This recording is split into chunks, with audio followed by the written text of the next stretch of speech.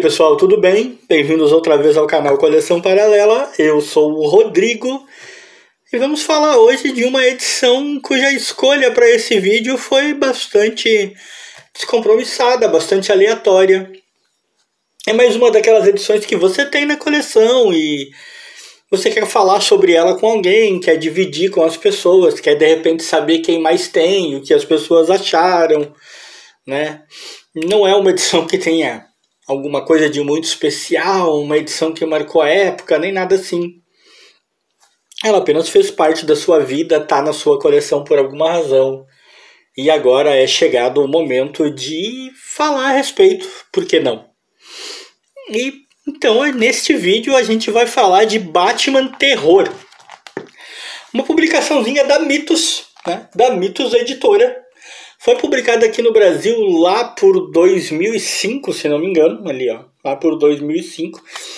É na verdade, para variar, uma dessas coletâneas em que eles pegam várias histórias que saíram em alguma revista americana. Nesse caso, é dessa aqui, The Legends of the Dark Knight, né, dos números 137 a 141.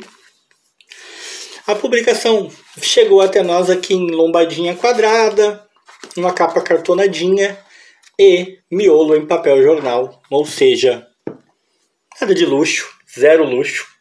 Bem a cara desse canal, que é um canal bem desprovido de luxo. Eu gosto muito dessa capa. Acho essa capa muito bonita. Eu comprei essa edição em banca na época e muito provavelmente eu comprei pela capa e pelo título, né? Batman Terror, a palavra terror me chamou muita atenção, eu lembro disso. Claro que eu já estava desprovido de ilusões, né? Eu não imaginei que eu fosse encontrar terror real aqui dentro. E que me perdoem, né? Me perdoem as pessoas que pensam diferente, os fãs do Batman em geral, mas eu não acho que eu vá encontrar terror propriamente dito em qualquer história que tenha o Batman ou qualquer outro super-herói né? Essas histórias acabam sendo de heróis e não de terror.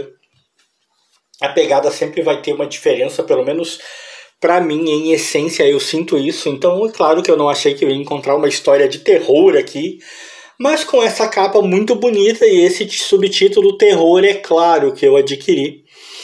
Pode ver que na capa tá o Batman, a Mulher Gato, o Espantalho, e este aqui, num primeiro momento, eu não reconheci né, um zumbizão, depois eu fiquei sabendo que é o bom e velho Hugo Strange. Esse material foi escrito pelo Doug Monchen, né? E os desenhos são do Paul Gulas. E o que dizer da história? Eu vou folhando agora, né, pessoal? Olha, eu gosto muito desse painel aqui também, cara, muito lindo. Vou folhando aqui rapidão enquanto eu falo, pessoal. O que dizer desse material? Primeiro que ele realmente foi produzido com a ideia de trazer até nós uma história que lembrasse mesmo uma obra de terror, né?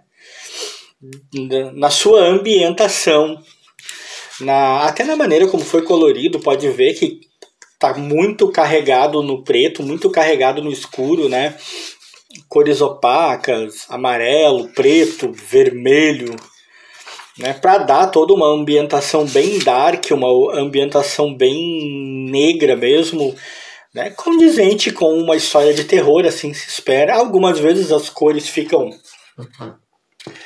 Tipo, aqui parece meio uma publicação anos 80, anos 90, né? As cores ficam uh, por demais contrastantes e tal, mas não atrapalha, muito pelo contrário, embora eu sempre tenha preferido terror em preto e branco, né? Eu curti muito essa ambientação, até porque não é preto e branco, mas cara, tem muito terror aqui, né? Uh, muito muito terror não, né, gente? Tem muito preto aqui, né? Muito preto. Não, muito terror não tem. Me perdoe. É que eu vou confessar, fazer, vou confessar para vocês uma coisa. Eu tô folheando a revista e falando, e eu me deparei com uma cena que tem na revista que sempre me incomoda terrivelmente. Eu já li e reli essa edição, eu acho que umas quatro vezes. E não tem uma única vez que eu não passo por essa cena, por essa página, por esse quadro que ela não me distrai porque ela me incomoda de uma maneira estonteante, é de uma maneira colossal. E é essa aqui, ó. Olha essa cena, olha o olho desta mulher. Cara, o olho da mulher é tipo tá ocupando 60% do rosto dela. Nem em mangá os caras desenham pessoas com olhos tão gigantescos. Essa mulher aqui tem problema, tipo, né? Ela tá com algum problema. Ela nasceu com alguma deformidade e não é possível. Aqui o nosso amigo desenhista e o nosso querido Paul me perdoem, mas viajou na maionese e eu não consigo passar por essa página sem notar isso, tá? Eu chego nessa página, eu me deparo com essa mulher de olho arregalado e a leitura para ali. Eu preciso, eu preciso me recompor. Mas como eu estava dizendo, então voltando, vamos tentar ser menos dispersivos. Né? Tem muito preto aqui, né? Tem muita escuridão, não é preto e branco, mas está muito carregado disso e eu acho que ficou legal. A premissa da história não chega a ser intrincada, é o retorno do Hugo Strange, um inimigo bastante conhecido do Batman que sempre deu muito problema para ele. Os fãs em geral vão saber. E a união dele com outro inimigo clássico tremendamente conhecido do Batman, que é o Espantalho. Né, os dois fazem aí uma união profana, com é óbvio a intenção de atingir o Batman, de derrotar o Homem-Morcego, eliminar ele e são dois mestres do terror, né, do terror psicológico, vamos dizer assim. Né, nós sabemos muito bem que o, né, o espantalho, com seu gás do medo e tal, se intitula um, um senhor do medo, um mestre do medo, e o Hugo Strange, né, com toda a sua capacidade de manipulação da mente humana, também não fica atrás. São dois egos enormes, né? Sendo que neste caso, para variar, o espantalho acaba parecendo bem menos genial do que ele mesmo acha que é, porque é lógico que ele é muito mais manipulado pelo Strange para uh, atingir os objetivos que o Strange tem do que realmente é um parceiro, né?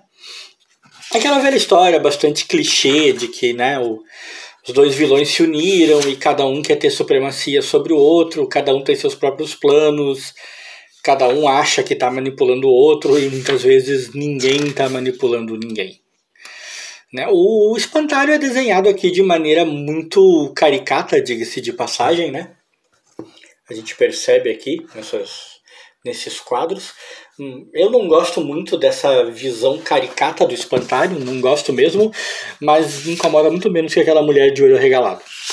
Hum, voltei a ela, não tem jeito. Né? O nosso amigo Strange tá, também demonstra um lado seu bastante desequilibrado, né? Não que a gente possa considerar muito equilibrado um, um suposto psicólogo aí que, né, psiquiatra que segue uma carreira criminosa nesse nível, mas ele aqui tá apaixonadão por um manequim. Curioso como os inimigos do Batman têm uma certa ligação com manequins, né? Como eles gostam de uma boneca. Vocês aí lembram do nosso querido Cara de Barro? Né? O Cara de Barro também teve um envolvimentozinho com uma, uma boneca. Né? Quem aí lembra dessa história?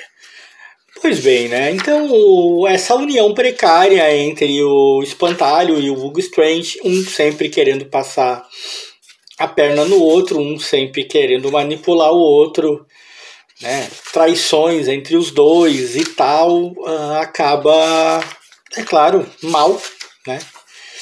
Eles acabam em pouco tempo se se desentendendo, se golpeando, né? Não, as coisas não funcionam como poderiam funcionar como se esperaria que funcionasse. E o Batman, por sua vez, acaba outra vez fazendo uma união também precária, também bem clichê, com a Mulher Gato.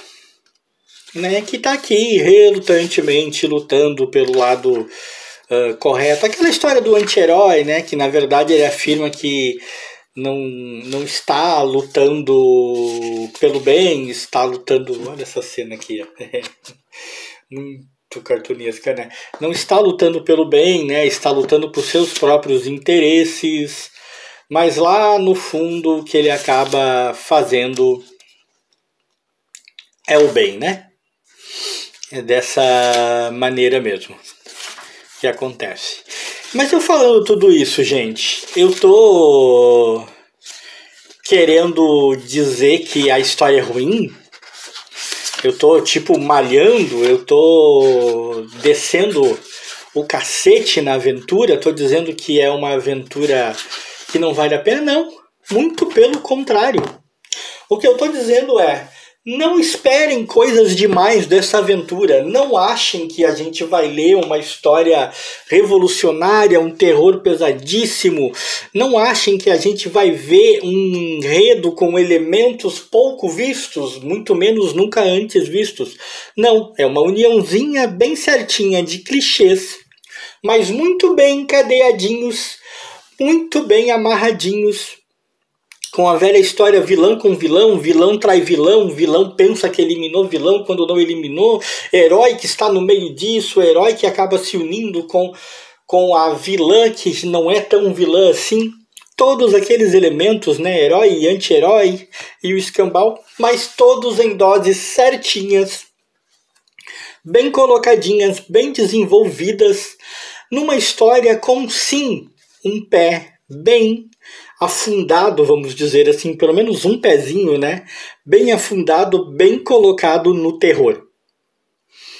Não é aquele terror que a gente que é fã de terror de verdade realmente gosta, realmente quer.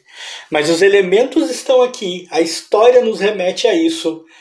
E é bastante divertida. É tanto que, como eu confessei antes para vocês, pessoal, eu li essa história mais de uma vez, né? E você não lê mais de uma vez uma aventura que você detestou.